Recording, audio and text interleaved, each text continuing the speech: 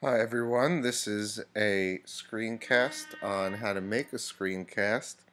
And the program we're going to use for this is screencast-o-matic.com I'm going to go ahead and type it in to my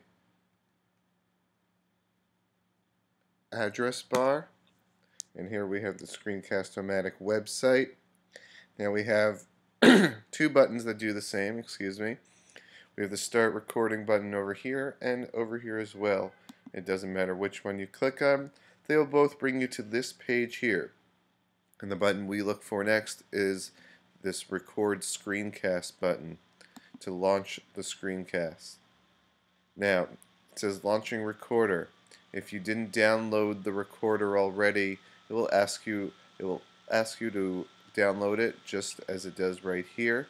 We would have clicked that link and that link would have brought us to open the launcher. This is the toolbar that we get here. You can record just your screen. You can record a webcam or you can have both a screen and a webcam. The max time you can have is 15 minutes, but you have the option of upgrading to record longer videos, but 15 minutes is free. You can have it full screen or you can change it. If you change it, you will see these dotted lines here and you can change the size of how much you are recording. So maybe I only want that amount. And you can click and drag to change the size of the window for your screencast. Okay, when you're ready, you can click the red button to, to start recording. It will count down from 3, 2, 1, and now we are recording a screencast within a screencast, and you can use it to show anyone how to do something on the computer, as I'm doing right now.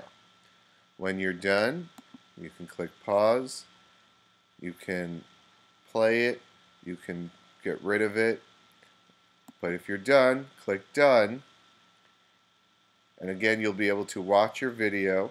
You can save it as a video file on your computer, and then you can send it through email or any other way. You can upload it to Screencast-O-Matic if you have a Screencast-O-Matic account, which is not completely necessary, but some people want, if you want to save your files, then you can do that or you can upload it straight to YouTube. And that is basically how to create a screencast using Screencast-O-Matic. Thank you.